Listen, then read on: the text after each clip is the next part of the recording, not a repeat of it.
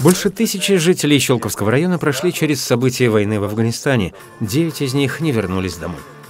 В память о погибших воинах в Щелкове установлен монумент «Скорбящая мать». В минувшее воскресенье там прошел митинг, посвященный событиям 30-летней давности.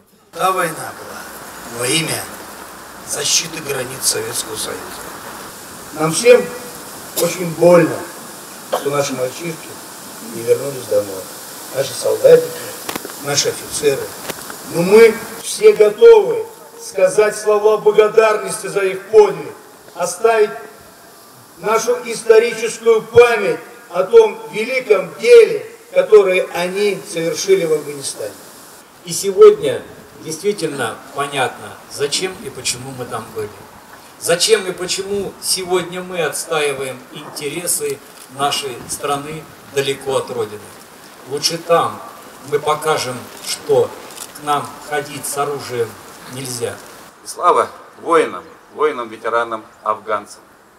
Спасибо вам. История еще раз судит.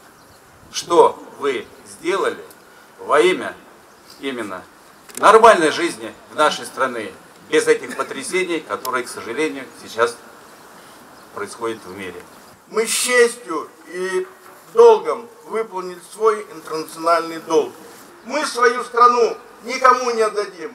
Боевое братство всегда было, будет и есть. Участники митинга возложили цветы к памятнику «Скорбящая мать».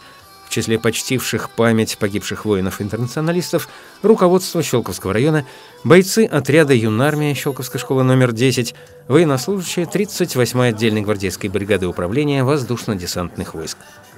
Торжественное мероприятие продолжилось в театрально-концертном центре «Щелковский театр», Многие ветераны афганской войны получили благодарности, грамоты и ценные подарки от руководства муниципалитета, регионального парламента и местного отделения Всероссийской ветеранской организации «Боевое братство».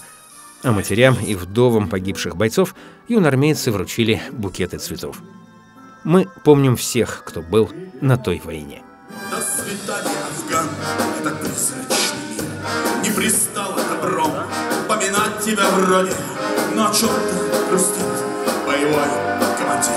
Мы уходим, уходим, уходим, уходим. Прощайте горы, вам видней, в чем наша боль и наша слава.